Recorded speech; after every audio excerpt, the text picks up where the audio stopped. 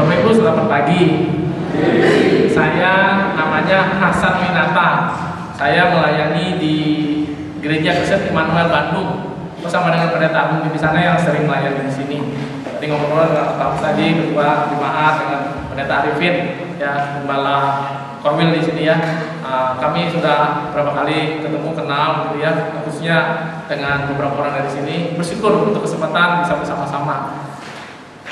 Harusnya pagi hari ini yang memimpin itu pendeta agung di sana satu sesi, saya satu sesi selanjutnya. Tapi pendeta agung di sana minta maaf karena beliau harus kembali ke Surabaya lebih awal. Jadi sudah kembali ke Surabaya tadi jam 9. Jadi saya diminta untuk menggantikan beliau mengambil dua sesi ke depan gitu. Tapi kemudian saya gabungkan jadi satu sesi. Bapak Ibu sekalian hari ini kita mau belajar, mau sama-sama menggali firman Tuhan. Siapa sih kita orang Kristen itu? Gimana sih kita harus Cukupkan dengan baca firman Tuhan, berdoa, melayani, memberitakan Injil. Apakah hanya itu hidup kita sebagai orang Kristen? Bapak Ibu sekalian, ada satu panggilan, ada satu jati diri yang jauh lebih dalam dari segala aktivitas yang kita lakukan sebagai orang Kristen. Nah hari hari ini itu yang kita mau belajar. Kenapa kita penting melakukan itu? Kenapa kita harus tahu? Karena nanti itu yang akan kita hidupi. Itu yang akan kita tampilkan. Itu yang akan kita perlihatkan. Itu yang akan kita ajarkan dalam hidup kita hari lepas hari. Baik di keluarga, baik di sekolah, baik kepada anak-anak kita, baik di tengah jemaat. Nah sesi hari ini akan dibagi tiga. Sesi pertama pemaparan materi dari saya sendiri. Lalu yang kedua nanti kita ada diskusi kelompok. Gitu ya, akan dibagi kelompok-kelompok. Uh, mungkin nanti dari timnya pendeta Arifin yang ada di sini, tim pendetanya bisa bantu juga kami begitu ya sama-sama. Lalu dari tim dari Bandung juga akan memimpin diskusi kelompok itu tentang materi yang disampaikan. Gitu ya, itu sesi yang kedua. Sesi yang ketiga nanti kita tanya jawab. Bapak Ibu sekalian, uh, saya mengerti betul ya bahwa kita sama-sama orang Kristen sama-sama saling belajar. Jadi bukan merasa kami yang paling tahu di sini lagi lalu ngajar Bapak Ibu sekalian. Bapak Ibu mungkin ada yang jauh lebih senior dari saya, mungkin Bapak Ibu lebih berpengalaman, mungkin dikasih hikmat lebih daripada saya atau dari tim dari Bandung. Nanti kita sama-sama berpikiran, kita saling belajar satu dengan yang yang lain gitu ya. Mungkin ada pertanyaan nanti kita bisa saling menjawab satu dengan yang. Itu jadi tiga sesi. Kurang lebih waktunya mungkin sekitar dua jam. Nanti kita ada break-break begitu ya Bapak Ibu sekalian ya. Nah kurang lebih uh, dua jam ke depan kita akan uh, melakukan uh, pertemuan ini seperti demikian. Baik kita mulai ya. Nah Bapak Ibu sekalian seperti yang tadi saya sudah katakan, uh, kita hidup ini orang Kristen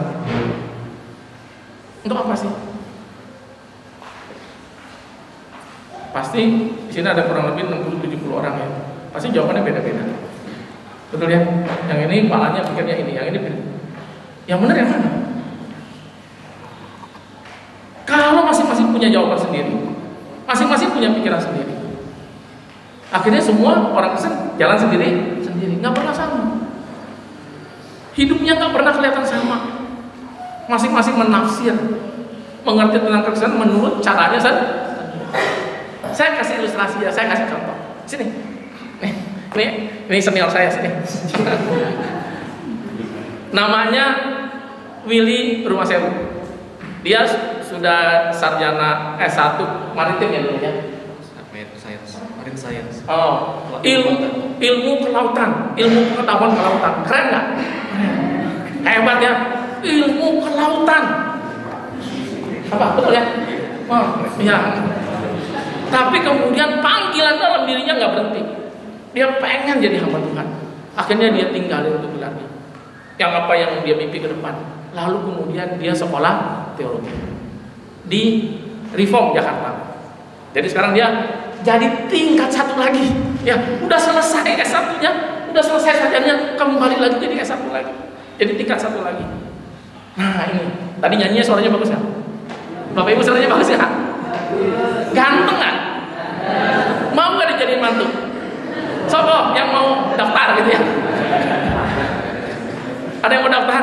Nih jadiin mantu. Bapak Ibu, kira-kira kalau dari penampilannya, kira-kira dari penampilannya, kira-kira orang apa dia? Tebak? Gak apa-apa ya, gak apa-apa ya. ya. Tadi saya udah minta izin sama dia, minta izin. Kira-kira orang apa Bapak Ibu sekalian? Hah? Bugis. Portugis. Ya. Apalagi? Hah? Hah? Pakistan ada yang bilang orang Pakistan. Ya. Kalau dia dijenggotin Bapak Ibu sekalian, kalau dijenggotin apa dia? Kayak orang ISIS Bapak Ibu sekalian ya. Betul. Kalau dia jenggotan pakai serban itu persis ISIS Bapak Ibu sekalian. Bapak Ibu sekalian tahu nggak ya? Ya. Saudara saya ini orang Indonesia. Amin ya. Tapi dia secara spesifik adalah keturunan orang Papua. Wah. Gak percaya kan? Papua. Papua bisa putih gini Bapak. Di Rinso Bapak sekalian. Ya, tapi ini anugerah Tuhan ya. Tuhan kasih dia kelebihan, semangat dan sebagainya. Tapi terlepas dari diskusi saya dia orang apa, yang pasti, yang pasti dia itu orang Kristen. Setuju? Setuju ya? Pasti orang Kristen. Ya. Kalau Bapak Ibu dari tadi jawab orang Kristen udah pasti benar tuh. Betul ya? Dia orang apa? Orang Kristen Pak. Ah, itu jawabannya 100. Orang Kristen. Tapi pertanyaan saya, kenapa Bapak Ibu sebut dia orang Kristen? Karena dia nyanyi haleluya tadi, karena dia nyanyi segambar serupa dengan Tuhan Yesus, nyanyi-nyanyi lagu rohani. Kenapa Bapak Ibu dia orang Kristen? Bapak Ibu tahu dari mana dia orang Kristen?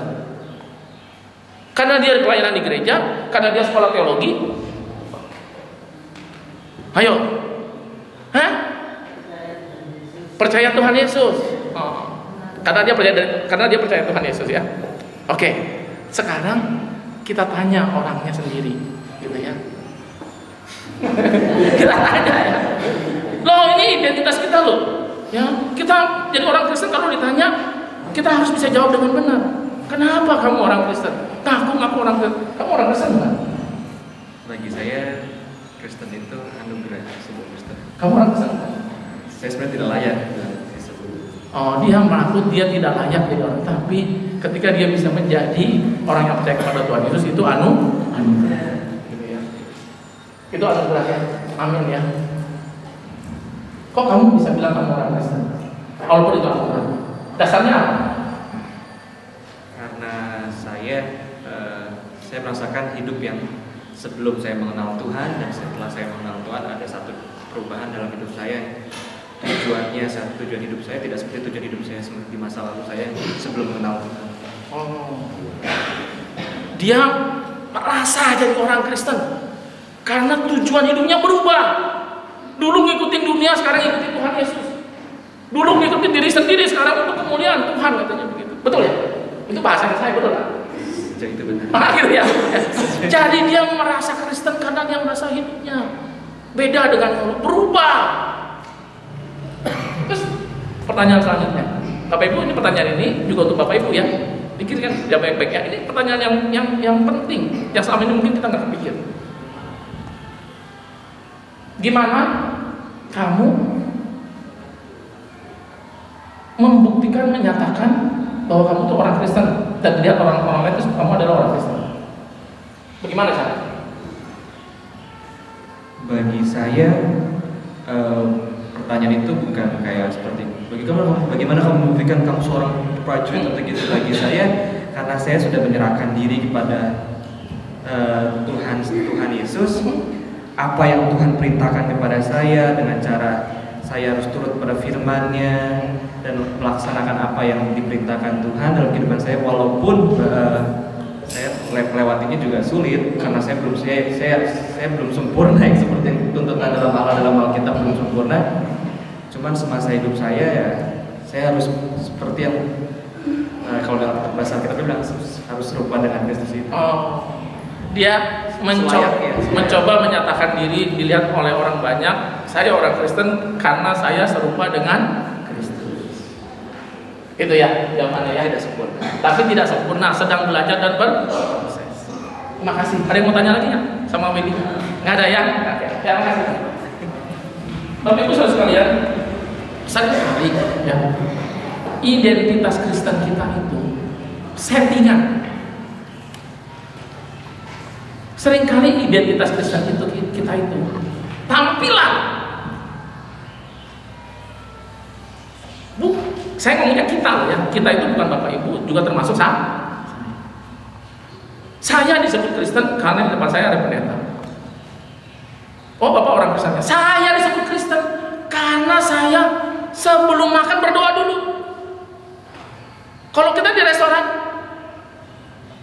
ada di depan kita orang lagi makan sebelum makan dia doa. Eh itu orang Kristen, betul nggak? Betul kan? Langsung kita bilang itu orang orang Kristen. Kita disebut orang Kristen karena kita pakai salib. Wah, ada salibnya. Oh itu orang kita disebut orang Kristen karena kita bawa Alkitab. Kita disebut orang Kristen karena kita ke gereja. Dan kita lalu bilang, iya saya orang Kristen. Karena perlengkapan saya, penampilan saya orang. Bapak Ibu, kalau kita mau dalamin lagi, Alkitab ngomongnya begitu. Alkitab bilang orang Kristen itu seperti apa yang sebenarnya? Coba kita lihat. Ya. Satu Yohanes 2 ayat yang ke-6. Satu Yohanes pasal yang kedua ayat yang ke-6.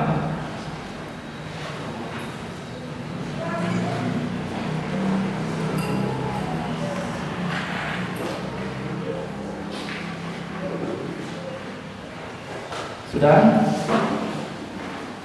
Satu Yohanes pasal yang kedua ayat yang ke-6. Kita baca.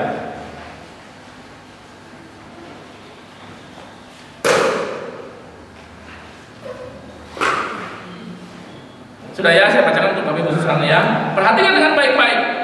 Perhatikan dengan sungguh-sungguh. Barang siapa, siapa pun orangnya, mengatakan bahwa ia ada di dalam dia, yaitu Kristus, siapa pun yang mengatakan bahwa dia percaya kepada Kristus, hidup di dalam Kristus, ada di dalam Kristus, ia wajib hidup sama seperti Kristus hidup. Saya ulangi. Ia wajib hidup sama seperti Kristus. Nah, itu orang Kristen. Siapa yang mengaku percaya kepada Tuhan Yesus? Hidup di dalam keselamatan dalam nama Tuhan Yesus. Percaya bahwa dia adalah Tuhan dan Juru Selamat. Saya diselamatkan oleh dia, oleh pengampunannya, oleh penebusannya. Saya hidup oleh hidupnya Kristus. Saya hidup di dalam dia. Wajib hukumnya. Hidup sama seperti Kristus hidup. Nah, mulai mikir kan? Kita mulai mikir. Jadi kalau kita tidak hidup sama seperti Kristus, kita boleh nggak jemput diri kita orang Kristen? Nah, betul?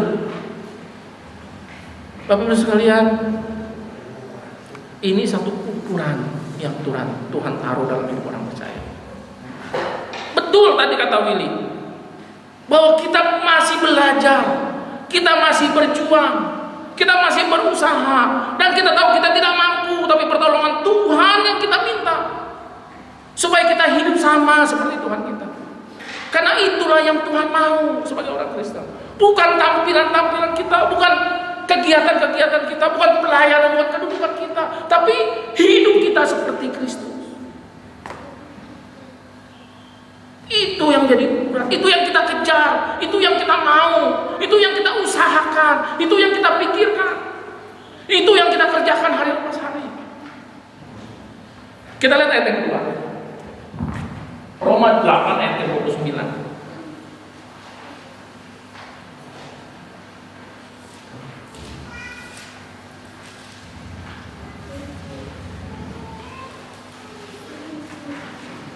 Nah, di sini Bapak Ibu akan lebih terkejut lagi.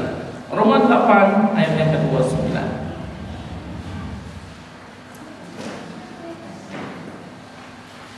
Kita kan sering bilang kita ini orang pilihan umat Allah, umat kesayangan Allah, biji mata Allah, kesayangan Allah, orang-orang yang dikasihnya. Mari kita lihat.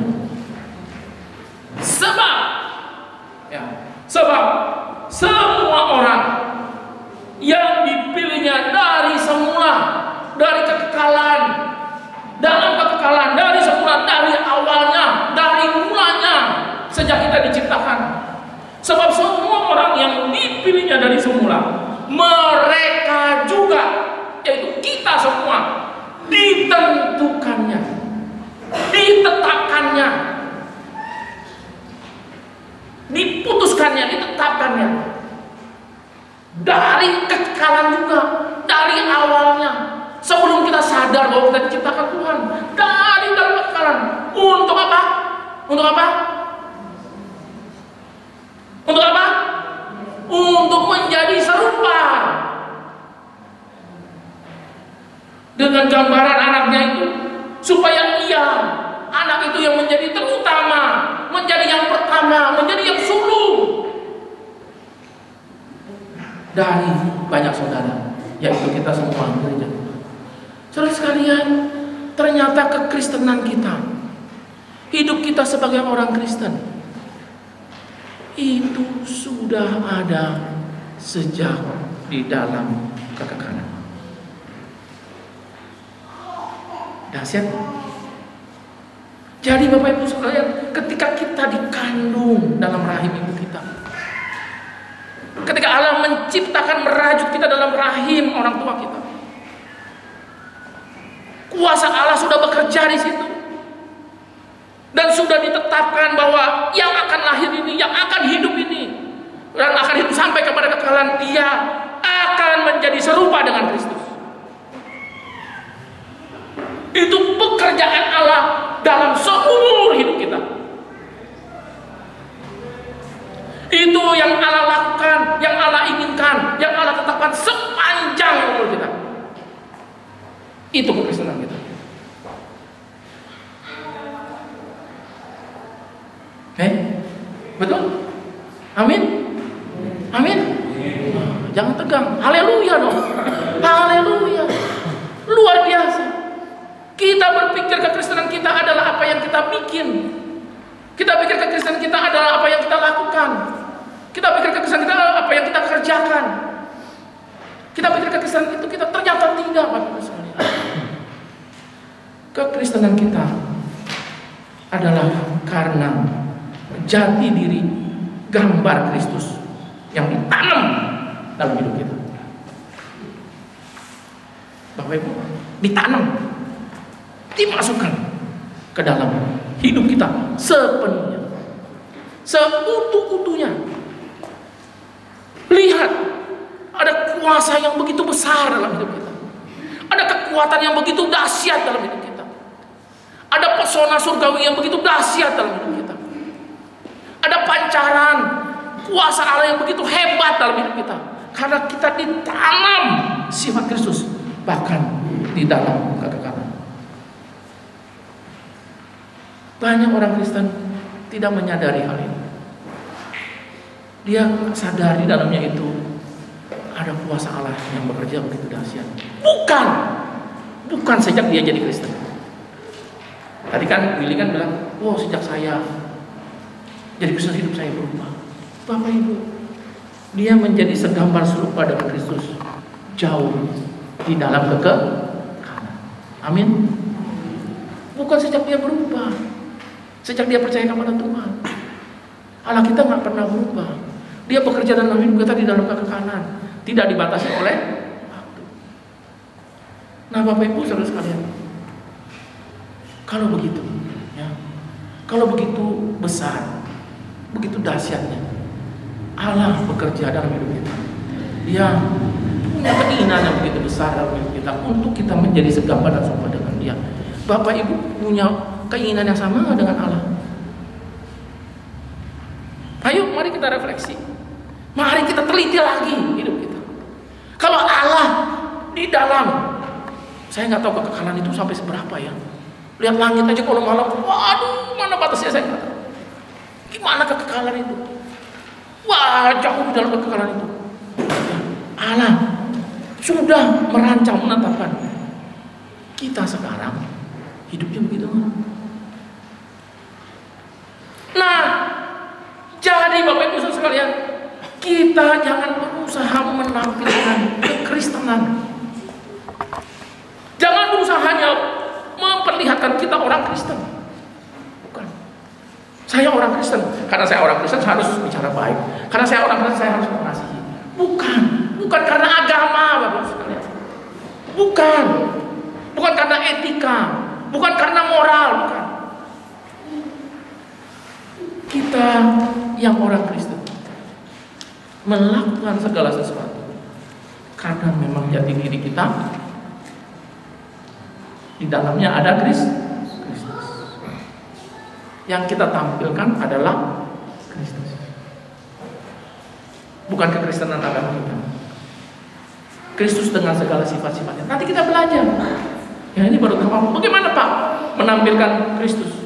Nanti kita belajar. Ada tahapan nanti kita ada ada diskusi kita ada kelompok. Nah, Bapak Ibu saudara sekalian. Coba mari kita lihat uh, Efesus 4 ayat yang ke-15. Efesus 4 ayat yang ke-15.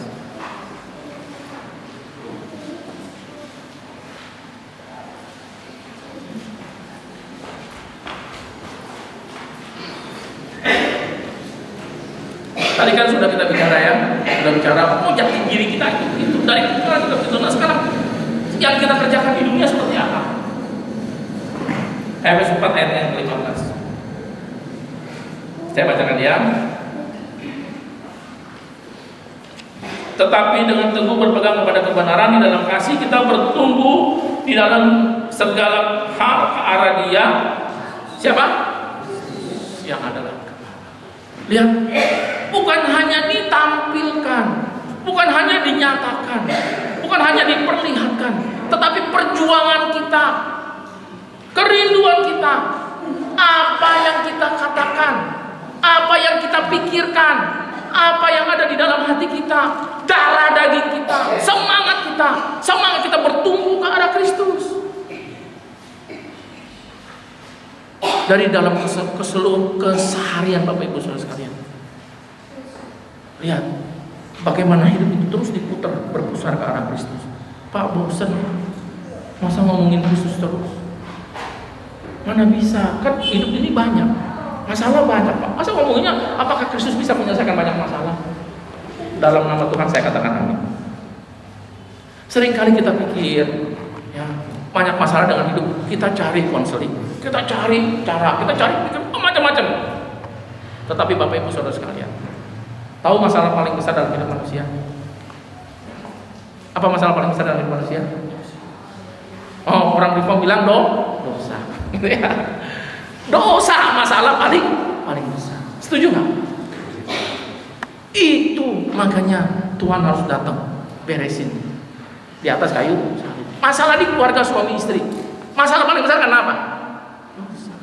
Tinggi hati, nggak bisa terima, saling menyalahkan, sombong, ya mau menangnya dewe gitu ya, mau menangnya sendiri, semaunya sendiri. Masalah dosa tiga, ah, semua masalahnya itu dosa.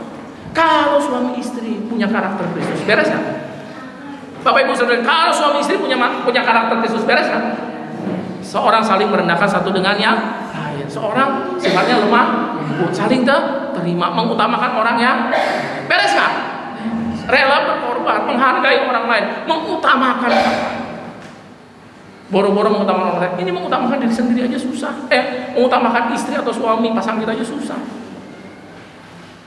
Nah, Bapak Ibu Saudara sekalian,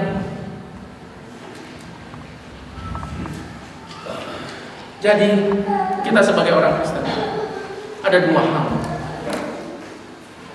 yang kita harus yang kita harus terus bangun. Kita harus serupa dengan Kristus. Yang kedua, kita harus bertumbuh ke arah dengan segala sifat, dengan segala karakternya, dengan segala hidupnya. Nah, Bapak Ibu sekalian, coba kita lihat Yohanes ya, Yohanes. Kita kita kita buktikan ya, Yohanes. Alkitab ngomong apa? Yohanes 15 ayat 26. Coba kita lihat ya. Ini pekerjaan Kudus. Ini pekerjaan Roh Kudus. Bapak Ibu percaya ada Roh Kudus? Bapak Ibu percaya ada Roh Kudus? Percaya Roh Kudus bekerja dalam hidup Bapak Ibu? Percaya ya? Kita punya kuasa Roh Kudus? Amin. Saya tanya ya. Kita percaya punya kuasa Roh Kudus? Amin. Kita percaya Roh Kudus hidup dalam kita? Amin. Oke ya, sekarang kita lihat, kita buktikan ya. Jika uh, Yohanes 15 ayat 26, jikalau penghibur yang akan diutus dari Bapa datang, yaitu roh kebenaran yang keluar dari Bapa, ia akan bersaksi tentang tentang siapa? Jadi Roh Kudus bersaksi tentang siapa? Ya. Roh Kudus bersaksi tentang Kristus. Kalau Bapak Ibu punya Roh Kudus, Roh Kudus bekerja dalam hidup Bapak Ibu. Jadi hidup Bapak Ibu bersaksi, bersaksi tentang siapa? Tidak ada yang lain. Roh Kudus tidak mungkin bicara tentang Bapak Ibu. Oh, saya bicara kepada Willy, Willy, ya, oh, Roh Kudus datang kepada Willy tengah malam lagi mimpi. Willy, nanti besok kamu pergi ke desa Sendang. Ada satu rumah. Nah, rumahnya tuh warnanya cacatnya hijau. Nah, nanti kamu ke situ ke dalam. Nanti saya temukan kamu dengan seorang wanita. Calon pasangan hidup kamu. Ah, gitu. Nggak mungkin Roh Kudus bicara hal-hal yang demikian.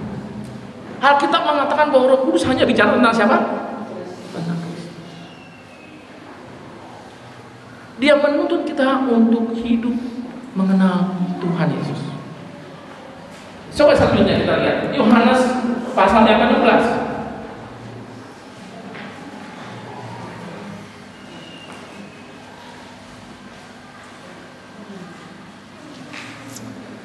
Yohanes pasal yang ke-16 ayat 13 sampai yang ke-15. Bapak Ibu perhatikan ya pelan-pelan ya, baik-baik ya. Yohanes pasal yang ke-13 eh, Yohanes yang pasal yang ke-16 sorry.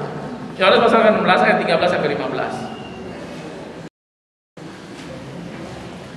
Bagian firman Tuhan yang hari ini kita baca Bapak Ibu garis bawahi, ditandai, ditebeli gitu ya. Wah, ini penting. Ya ini bicara tentang hidup kita yang nyata, yang seharusnya sebagai orang Kristen. Yohanes pasal 16 ayat 13. Tetapi apabila ia datang, yaitu roh kebenaran, roh kudus, ia akan memimpin kamu ke dalam kebenaran. Siapa kebenaran? Dia akan memimpin kita ke dalam Tuhan Yesus. Sebab ia tidak berkata-kata dari dirinya sendiri. Roh Kudus tidak berkata-kata dari dirinya sendiri. Tetapi segala yang didengarnya itulah yang dikatakan. Jadi apa yang Roh Kudus katakan dari siapa? Bapak Ibu, jawab dengan lebih tegas. Jadi yang dikatakan oleh Roh Kudus itu dari siapa? Dia hanya mengatakan apa yang didengarnya dari Tuhan Yesus.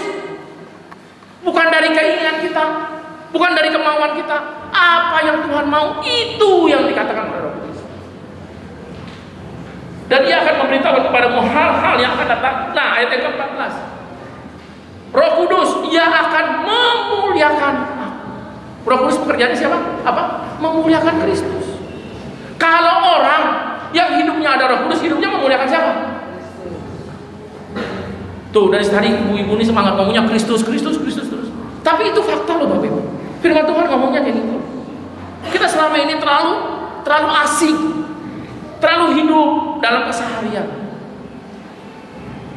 Saya berharap kata-kata yang tadi kita katakan itu bukan hanya di gereja, tapi dalam hidup kita sehari-hari. Tapi segala yang didengar itu yang dikatakan dia akan memberikan kepada hal-hal yang akan datang. Ia akan memuliakan aku. Roh Kudus cuma satu kerjakannya, memuliakan Kristus.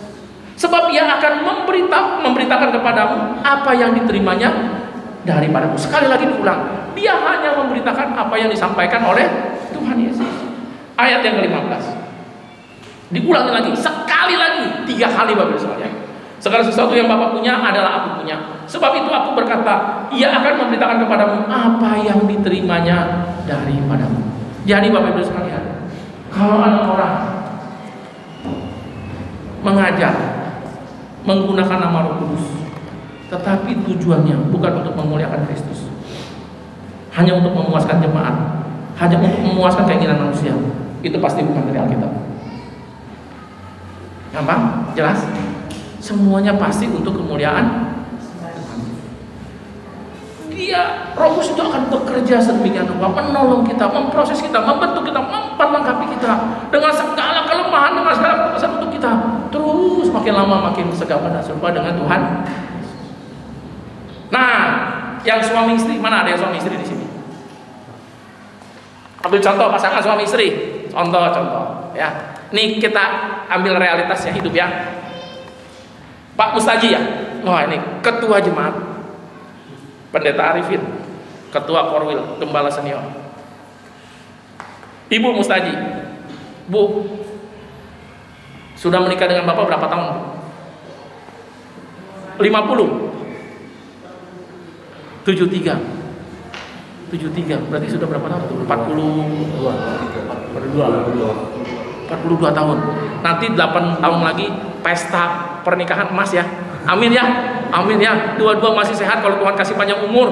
Rayakan pesta pernikahan emas. Amin ya. Wah, puji Tuhan. Ibu Mustaji. Hidup dengan Bapak gampang nggak Bu? Ibu, hidup dengan Bapak gampang apa susah Bu?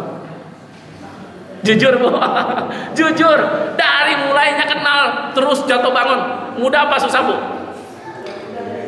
Ah, gitu ya. Ada mudah, ada su Kenapa susah bu? Kenapa susah? Kenapa kita hidup sama pasangan kita susah? Karena pasangan kita itu mau bawa dirinya sen sendiri. Betul kan? Betul kan? Ya kan? Pasangan kita maunya ngikutin keinginannya dirinya sendiri. Sama, kitanya juga sama. Jadi dua-duanya sama-sama su susah. Pak hidup sama Pak, Ibu susah, susah apa gampang Pak? Gak apa-apa, ngaku aja jujur di sini Pak. Hidup sama Ibu susah nggak Pak? Oh enggak ya. Takut sama istri. Nanti pulang gitu. Enggak bercanda ya Pak ya, bercanda. Ibu Mustaji. Ibu mau suami ibu punya karakter seperti Pak Mustaji atau mau punya karakter seperti Kristus? Ibu, ibu lebih suka Bapak ini punya karakter seperti Bapak atau punya karakter seperti Kristus? Jelas? Kita tahu. Kita tahu betul bahwa kita perlu itu dalam hidup kita. Kita butuh itu. Yang punya anak, anak-anak kita bikin susah kita sering kita nangis apalagi anak remaja, anak pemuda. Yang sudah menikah orang-orang tua lansia punya anak nggak perhatiin orang tua, bikin kita susah hati. Kita pengen anak kita punya karakter seperti Kristus. Mau nggak dia kita punya anak seperti karakternya dia sendiri? Mau nggak? Atau Pak Mustaji, sorry saya pakai contoh lagi. Bapak mau nggak punya anak karakternya seperti bapak? Jujur, mau nggak punya anak seperti bapak karakternya? kan sering kali kita ngomongnya begini, yang baiknya boleh, yang jeleknya jangan. Ya kan? Itu kita mau menang sendiri sebagai orang tua, gitu ya. Bahasanya orang tua itu mah, ya. Karena kita udah hidup duluan, mau dihormatin kita ngomongnya begitu. Tapi kita jujur, kita manusia banyak kele kita dalam realita hidup kita tahu betul bahwa kita butuh karakter Kristus. Oleh karena itu jangan saling menuntut. Mari kita mulai dari diri kita sendiri. Amin. Beres. Rumah tentrem, damai sejahtera, shalom, gereja tentrem, usaha tenang, ada kesulitan sama seperti Kristus mau menanggung penderitaan tidak menolak penderitaan tetapi kita tanggung bersama dengan Tuhan. Yesus Tuhan pasti tolong kasih jalan ke keluar. Tetap damai saja sejahtera. Tidak mengumpat tidak mengutuk tidak bersungut-sungut. Banting piring banting pintu banting tempat tidur semua dibanting. Tapi dengan lembut ayo mari bapak ibu mari ma, mama papi ya kita ber, berdoa amin lihat Tuhan Yesus hidupnya banyak kesulitan nggak bapak ibu Tuhan Yesus hidupnya banyak kesulitan nggak kalau dia kesulitan apa yang dia lakukan datang kepada Bang. Itu aja satu contoh. Kalau kita ada kesulitan, wah rungsing. Sak kecamatan tahu semua. Masalah oh, mau ke sana ke sini. Culekin orang. Wah, kita sendiri yang paling tinggi sendiri, paling benar sendiri. Lihat. Nah, Bapak Ibu sekalian, seperti apa yang Roh Kudus katakan, apa yang seperti Roh Kudus kerjakan, Dia memberitakan tentang Kristus. Roh Kudus bekerja dalam hidup kita, kita juga harus memberitakan Kristus. Itu. Kita wajib hidup sama seperti Kristus. Mutlak hukumnya. Kalau tidak, kita tidak mendapat bagian dalam kerajaan Allah. Selesai. Pintu gereja masih terbuka untuk banyak orang untuk bertobat. Tapi pintu kerajaan Allah hanya terbuka bagi orang yang serupa dengan Kristus.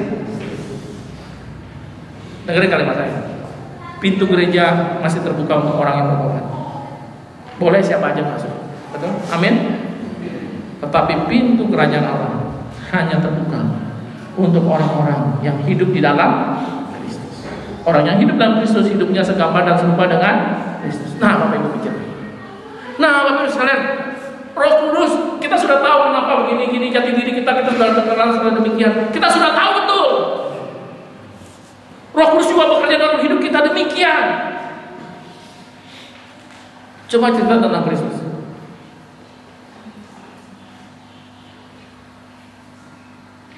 Bapak Ibu tahu bahwa Alkitab sebetulnya juga cuma cerita satu, yaitu tentang Tuhan Yesus. Siapa bilang Pak? Di sana ada cerita tentang Abraham, di sana cerita ada tentang Musa, ada Adam dan Hawa, ada cerita tentang Rasul Paulus, ada Nabi Nehemia, ada Nabi Yesaya. Bapak Ibu saya katakan hari ini, Alkitab cuma cerita tentang satu, Tuhan Yesus. Nabi-nabi itu pun menceritakan tentang Tuhan Yesus. Mereka tidak menceritakan dirinya sendiri, karena Roh Kudus yang bekerja dalam hidup mereka menceritakan Tuhan Lihat ya, ya. Roh Kudus bekerja dalam hidup orang percaya. Roh Kudus bercerita tentang Tuhan Yesus. Roh Kudus bekerja dalam hidup nabi-nabi. Nabi-nabi bercerita tentang siapa? Jelas? Jadi tidak mungkin, tidak mungkin nabi-nabi itu bercerita tentang dirinya sendiri. Karena Roh Kudus yang bekerja dalam hidup dia menceritakan tentang Kristus Tuhan Yerusalem. Kita buka Lukas pasal yang ke-24.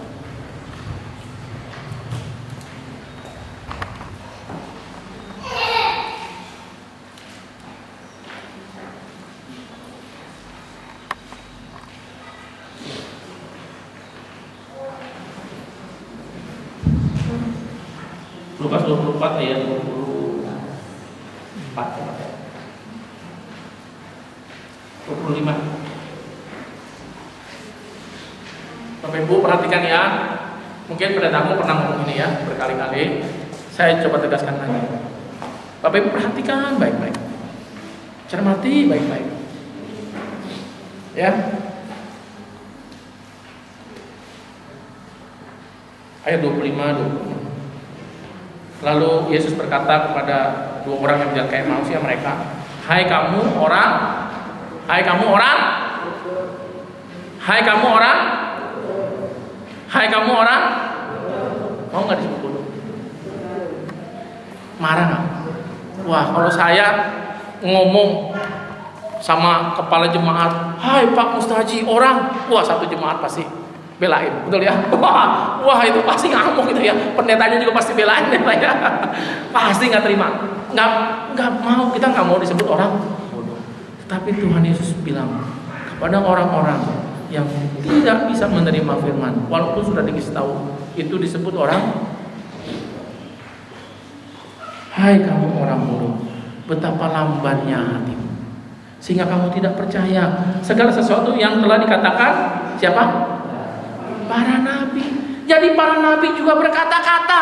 Dikatakan oleh para nabi, semua nabi dikatakan oleh para nabi, bukankah Mesias harus menderita semuanya itu untuk masuk ke dalam kemuliaannya? Jadi nabi-nabi bicara tentang siapa? Loh, sekarang jelas tuh. Alkitabnya ngomong begitu. Nabi-nabi bicara cuma satu tentang Mesias yang menderita dan diting Siapalah apa yang sudah dikatakan oleh para nabi, yaitu Kristus yang di, di, di menderita dan ditinggikan. Lalu ayat yang ke-27 perhatikan. Lalu ia menjelaskan Tuhan Yesus menjelaskan sekali lagi para nabi nggak cukup, para nabi nggak bisa dia jelasin sekali lagi. Lalu ia menjelaskan kepada mereka apa yang tertulis tentang dia di dalam seluruh kitab suci. Mulai dari kitab Musa dan segala kitab nabi. Bicara tentang siapa? Bicara tentang siapa? Jadi Alkitab itu cuma satu.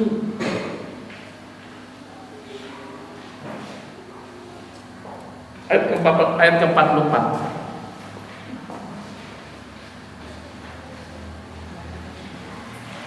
Yang tadi ya 24 ayat 44.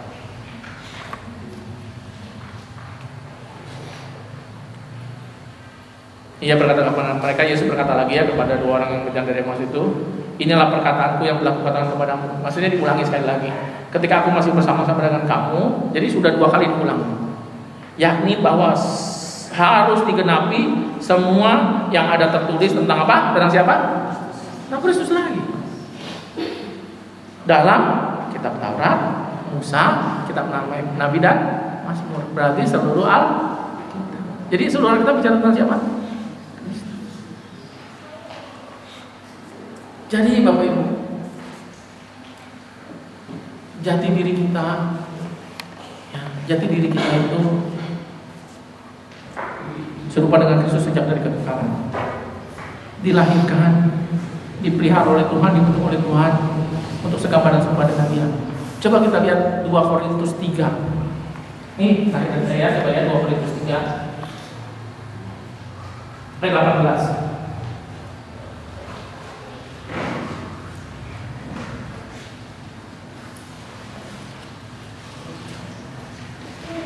Lihat ya. Saya kasih ayatnya banyak biar mantap. Yakin. Memang benar. Diulang-ulang. Semua bagian ngomong kayak begitu. Ayat 18. Pekerjaan Tuhan dalam hidup orang percaya, nih ya. Ini pekerjaan Tuhan dalam hidup kita, gereja Tuhan. Dan kita semua mencerminkan kemuliaan Tuhan. Amin dengan muka yang tidak berselubung, memancarkan cahaya kemuliaan Tuhan. Dan karena kemuliaan itu datangnya dari Tuhan yang adalah roh, maka kita diubah. Kita diubah. Siapa yang mengubah? Kita kita sendiri apa Tuhan yang apa Tuhan yang mengubah? Tuhan yang mengubah. Kita diubah menjadi serupa dengan gambarnya. Pekerjaan siapa itu? Pekerjaan Tuhan. Dalam hidup siapa? Dalam hidup kita. Tuhan mengubah kita menjadi serupa dengan gambarnya dalam kemuliaan yang semakin besar.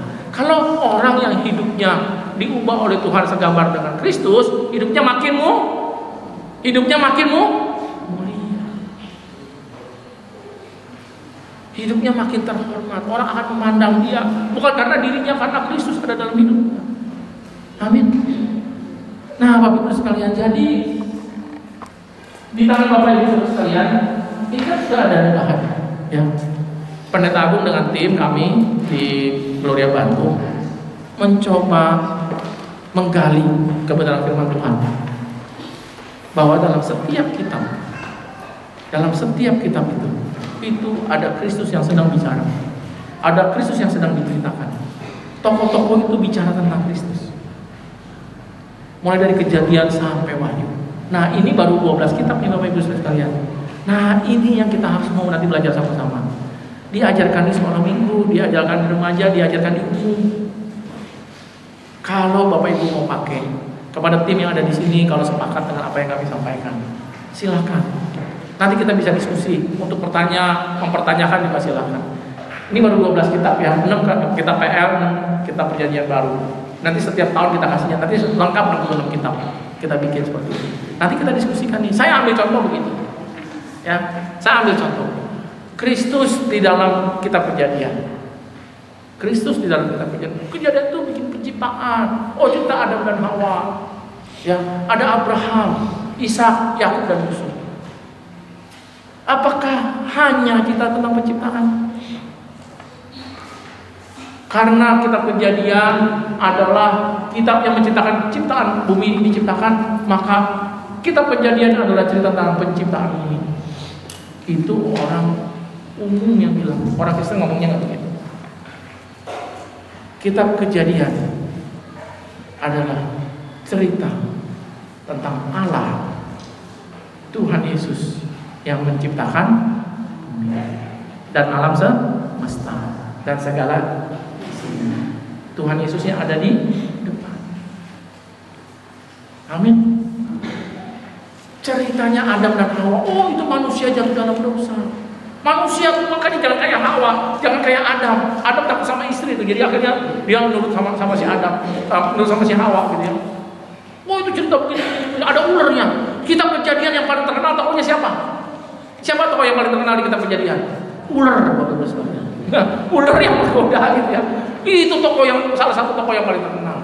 Akhirnya cerita tentang Kristusnya tidak ada. Kitab kejadian itu bicara tentang manusia jatuh dalam dosa, lalu Tuhan menjanjikan seorang penebus.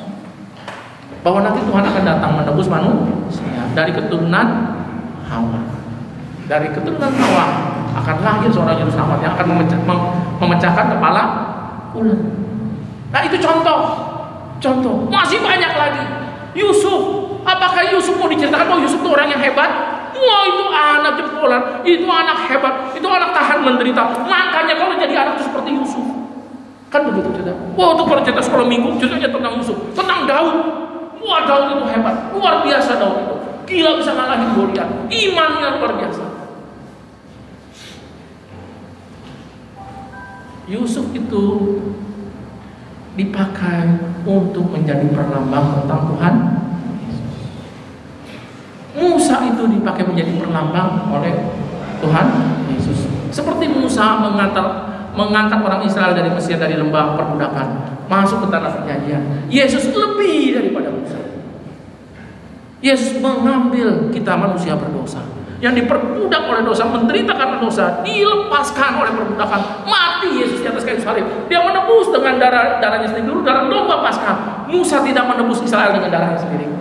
Tapi Yesus menebus umat Israel, umat umatnya umatnya gereja Tuhan dengan darahnya sendiri. Yesus lebih daripada Musa. Jadi cerita Musa tidak boleh berhenti hanya sampai Musa. Semua harus dibawa kepada Tuhan Baru itu namanya berita Injil. Baru itu namanya orang Kristen. Khotbah-khotbah pemberitaan, pengajaran semuanya itu harus sampai kepada ujung kepada kekal. Amin. Nah, Bapak Ibu sekalian sebentar kita bagi kelompok. Kurang lebih setengah jam kita diskusi. Ya, nanti uh, bisa bantu kami Pak Arifin dengan tim gitu ya, bantu untuk mendampingi uh, kalau ada pertanyaan nanti bahan-bahannya dibagikan gitu ya nanti uh, tim yang ada ini akan uh, mencoba membagikan gitu ya silahkan dibantu kalau boleh uh, untuk membagi kelompoknya kira-kira ini hadir berapa orang ya tadi 70 ya. Dibagi berapa? Satu satu kelompok 10 orang gitu. Ya silahkan bapak ibu kalau bisa campur gitu ya. Kita huh? ngitung. Oh gitu. Oke itu ya. Ya. Ya. Ya, oke ya, kita coba ya, kita coba Bapak Ibu. Nanti kita bagi kelompok, kita diskusi kurang lebih 30 menit. Betul nggak sih? Alkitab itu bicara tentang Kristus? Di dalam semua kitab, Bapak Ibu boleh tanya, Bapak Ibu boleh menyatakan pendapat, boleh uh, diskusi silahkan, boleh uh, berbagi pengalaman juga, silakan ya. Kita hitung ya mulai ya. Yang ini timnya, ini nanti yang mimpin. Pak Mustajin nanti mimpin ya Pak ya. Oh, Oke, mulai dari Ibu silakan Ibu mau ikut. Ibu. Sorry, ibu mau ikut Ya, bapak ibu yang mungkin uh, punya pengalaman atau mungkin tahu jawabannya juga bisa, ya bisa untuk membantu memberi jawaban. Tim hamba Tuhan yang ada di GKA Sendang juga boleh untuk membantu kami sama-sama. Oke, kita akan sesi tanya jawab kurang lebih 45 menit. Kita bagi beberapa kloter pertanyaan. Kalau 45 menit itu kira-kira ya 15 pertanyaan lah. Biasanya kurang lebih Nanti totalnya. Silakan mengajukan tiga pertanyaan tiga pertanyaan. Ya tiga tiga gitu ya. Nanti akan dijawab per tiga per tiga gitu ya. Kalau mau bertanya. Kalau nggak bertanya kita langsung makan siang. Gitu ya. Kita langsung makan siang. Oke baik bapak ibu sekalian ada yang mau bertanya untuk tadi diskusi apa yang sudah disampaikan? Ada yang masih kurang jelas atau ada yang mau menambahkan? Ya atau ada yang mau menambahkan? Silakan. Ini ada satu pertanyaan yang udah ke tangan saya. Nanti ini belakangan aja ada pertanyaan? Silakan bapak ibu. Jangan malu-malu. Tadi di sana banyak yang nanya gitu ya. Ya waktu kelompok tadi banyak yang nanya. Silakan acungkan tangan. Nanti dicatat. Silakan. Mari bapak ibu.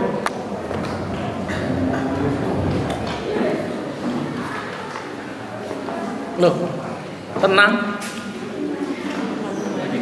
lagi makan. Susah pak. Nanya sambil makan gitu ya.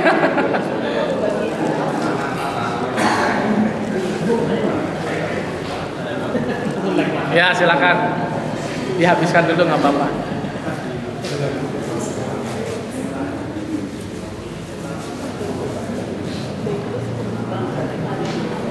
Oke, tapi dari, dari dari pimpinan tim tadi mungkin ada pertanyaan-pertanyaan yang eh, perlu dikembangkan?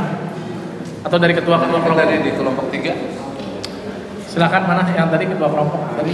mungkin ada tadi yang dari kelompok tiga yang mau bertanya dengan ibu siapa tadi ya? Maaf mungkin dengan Pak Sufrakto tadi ada pertanyaan Pak? Oh udah? Atau dengan ibu siapa tadi yang satu lagi?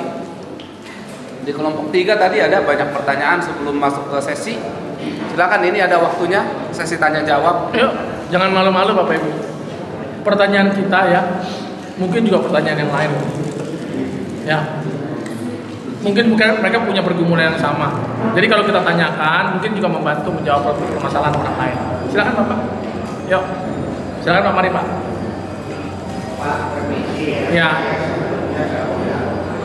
ya. Ini Pak, mari Pak, mari Pak, mari Pak.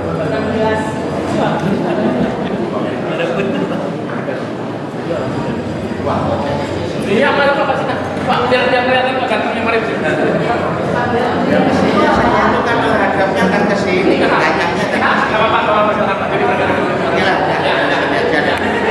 terkenal. Ini Pak, sebelum daripada saya salah, Ya, apakah pertanyaan materi pertanyaan itu sudah yang disampaikan ataukah dari hal-hal lain yang sifatnya dihadapi oleh kekristenan masa kini dan kaitannya dengan eh, hidup bersemangat. hidup berjemaat dengan kemandirian Kesaksian itu, ya, ya baik. Baik. Ini Pak, sekarang ini kan eh, kondisi Indonesia ini kan sudah seperti ladang yang yang menghijau, Betul. bukan ladang menguning, maaf. Ya kita terus lad- ladang menguning, tapi istilah saya ladang sudah menghijau. Kesannya seperti itu ya. Ya, sudah menghijau. Bahkan SMP Kristen pun sekarang sudah menghijau. saudara. Ceknya Pak. Ya, Ceknya. apa pun juga. Ya, Nah, eh, apa yang perlu dan harus dalam waktu yang mendesak ini dipersiapkan menghadapi pekan penghidupan yang semacam ini yang sedang berlangsung Pak. sedang berlangsung begitu hebat ya ini. Eh, terus terkait dengan ke depannya, bagaimana kita menyiapkan generasi-generasi penerus yang bisa menjawab tantangan zaman Ya. pada zaman saya pada dugaan saya ini menurut eh, perjalanan sejarah ini sudah jelas makin berbeda Ya. Embrio dari gagasan tersebut sudah ada sebelum Indonesia merdeka. Betul. Nah, ini penyiapan generasi muda yang saya katakan ya, kader-kader yang bukan kader tapi siap untuk menjawab. Baik. Contohnya di instansi Kristen saja, nggak tahu bagaimana untuk ini tenaga-tenaga yang Nah begitu. Jadi jangan sampai ini bu, apa ini kereta-kereta itu di kan disopiri, dikusiri oleh yang bukan bukan, bukan kita. Ya, baik. Terima kasih Pak. Ya. Baik, terima kasih Pak siapa? Pak Suprapto. Pak Suprapto. Terima kasih, semangat sekali beliau. Bapak Ibu terima kasih pertanyaannya tadi ya. Yang pertama, apakah ini pertanyaannya hanya berkaitan dengan materi atau tentang kehidupan Kristen atau hidup bergereja? Silahkan pertanyaan apa saja. Ya, sejauh itu memang bisa dijawab eh, pertanyaannya konkret begitu ya. Eh, akan coba kami kita bahas sama-sama. Silakan ya. Jadi setelah ini pertanyaannya mau mengenai apa pun silakan ya. Berkaitan dengan kehidupan kekristenan pasti. Ya, dan hidup bergereja dan tentang firman Tuhan tentang Alkitab. Lalu menjawab pertanyaan Pak Suprapto. Pekan penghijauan. Go green. Go green kan bagus ya. Tapi kalau go green yang ini bikin kita keder juga begitu. Sebabnya ya salah satu yang kehantem bukan cuma kita, tapi anak-anak kita. Betul kan? Anak-anak kita merotol satu-satu. Generasi muda kita habis. Bapak Ibu ngomong di Jawa Timur. Ya, Bapak Ibu ngomong di Jawa Timur. Yang menurut kami jauh lebih ramah terhadap kekristenan dibanding tempat pelayanan kami di Jawa Barat. Kebayang nggak kira-kira di Jawa Barat terjadinya kayak gimana? Wih itu gogreennya lebih hijau pak, lebih muantep, hijau ireng. Mereka punya strategi penguasaan di semua lini. Seakan-akan itu adalah ancaman yang paling dahsyat bagi kekristenan. Tapi Bapak Ibu, yang saya ngomong itu yang Bapak tadi sampaikan itu baru konteks Indonesia. Mari kita bicara negara lain yang sama ada Kristennya. Yang sama ada tantangannya. Ancaman kekristenan bukan hanya go green, tetapi lo materialisme, ateisme, hedonisme. Itu juga hantemannya dahsyat. Dan anak-anak muda sekarang, ya, itu godaan yang kota-kota besar itu, tantangan terhadap materialisme, egoisme, dan segala macam isme-isme yang lain itu, itu menghantam anak-anak muda kita begitu luar biasa. Jadi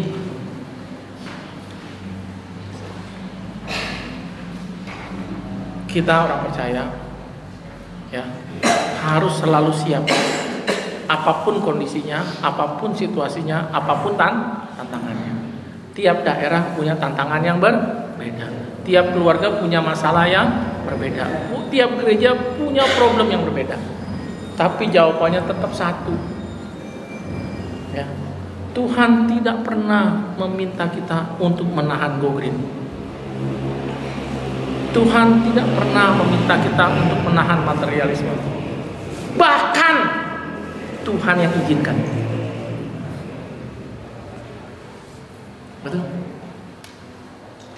Apakah ini semua di luar kendali Tuhan kita? Tuhan kontrol semua. Kadang dalam situasi tertentu Tuhan kasih pemimpin yang jahat. Tuhan atur semua begitu sempurna supaya di dalamnya kuasa kemuliaan Tuhan nyata dalam hidup orang-orang percaya. Perhatian kita boleh, kita mendoakan, kita bergumul, kita berbelas kasihan, iya. Saya jawab satu hal. Yang pertama, kita harus tetap berbelas kasihan kepada mereka, tidak membenci mereka. Amin. Tetap harus punya hati belas kasihan. Tetap bermasyarakat bersama dengan mereka, tidak dengan sifat munafik. Di depan kita baik-baik, tapi dalam hati kita benci, kita nggak boleh. Itu sikap kita. Yang kedua, hari ini kita bicarakan apa? Tugas kita sebagai orang Kristen adalah hidup seperti Kristus. Itulah yang menahan gempuran. Dimulai dari keluarga, Bapak Ibu sekalian. Dari Bapak Ibu sendiri dari keluarga. Saya kasih tahu begini. Saya kasih tahu begini. Ya. Ini soal keluarga anak-anak muda kita ya. ada orang tua jahat, anaknya jahat. Bisa nggak? Air, limpahan tidak jauh dari pancuran tidak jauh dari itunya ya apa sih bahasa itunya? Bahasa peribahasanya. Pokoknya gitulah. Buah pohon gitu ya. Pohon mangga nggak jatuh dari nggak jauh dari pohon mangga gitu ya kurang lebih begitu. Apa pun lah. Orang baik keluarga baik anaknya baik. Bibit bebet bobot. Oke nggak? Setuju nggak? Setuju ya. Amin ya. Orang yang baik anaknya bisa jahat? Bisa nggak? Loh ada satu keluarga suami istri anaknya enam. Kira-kira bisa semua baik nggak? Belum tentu. Ada satu yang dibilang telur busuk gitu. bisa begini bibitnya sama. Pengajarannya sama. Bimbingannya sama. Kasih sayang sama. Bisa nggak jadi? Orang baik anaknya jahat Sopo? Samuel. Nabi Samuel itu baik sekali. Anaknya dua itu tukang korupsi. Nggak ada salahnya Samuel di hadapan Tuhan. Orang jahat anaknya baik bisa nggak? Bisa. Saul itu rajanya jahat luar biasa. Wah anaknya Yonatan jempolan. Betul nggak? Jadi Bapak Ibu soal generasi muda kita soal anak-anak kita soal anak sekolah minggu remaja kita di tangan siapa? Di tangan kita atau di tangan Tuhan? Kita orang tua wajib mendidik, mengajar. Tetapi satu Bapak Ibu, Bapak Ibu harus pakai lutut berdoa untuk mereka. Gak pernah berhenti minta belas kasihan. Kalau perlu pakai air mata. Nangis. Minta belas kasihan buat anak mantu cucu kita. Supaya mereka tidak digempur oleh go green. Kita nggak mikirin merekanya. Kita mikirin kita. Gereja kita anak-anak kita. Mereka punya Tuhan punya cara sendiri. Ada waktunya Tuhan. Tapi kalau kita sibuk memikirkan mereka kita lupa dengan tugas tanggung jawab kita sendiri. Amin kita sebagai gereja Tuhan tetap harus memancar kasih terang belas kasihan kita kepada anak-anak harus belas kasihan Tuhan Yesus Berapa banyak bapak ibu yang pakai lututnya berdoa untuk anak Tiap malam doain tumpangin tangan. Tuhan kasihani anak-anak saya. Berkati dia. Hidup nggak pernah makin mudah Tuhan. Saya tahu betul hidup makin susah. Dulu saya masih muda gampang semua. Wah asal hidup begini. Sekarang hidup begitu banyak perjuangannya. Pernah nggak kita berdoa memberkati mereka? Dengan kuasa surgawi? peluk mereka dengan kasih sayang. Biar mereka belajar kasih Kristus di rumah. Kalau mereka belajar kasih Kristus di rumah dalam nama Tuhan mereka akan ke mana-mana. Amin. Kita mulai dari hal yang sederhana termasuk di gereja Tuhan di sini. Biarlah gereja menjadi suatu komunitas yang penuh dengan kehangatan. Bukan tempat yang penuh dengan kemunafikan anak-anak sering kali marah kepada orang tua karena kata dan perbuatan orang tua nggak pernah sama mereka simpen dalam hati. Mereka marah sama. Tapi mereka nggak pernah ngomong. Firman Tuhan ada ngomong itu. Hai orang-orang tua jangan sakiti hati anak-anak. Sakit itu anak-anak sakit kalau orang tua kepada kita dia tuntut setengah mati. Ya kepada anak itu tapi dia sendiri nggak berani nggak mau lakukan. Itu kita orang Farisi bapak sekalian, orang munafik. Tuntut orang tapi sendiri nggak mau kerjakan. Kamu jangan merokok, ya kamu jangan begini, tapi kita sendiri juga lakukan menambah luka, membuat mereka nggak kenal Kristus. Menjawab Pak?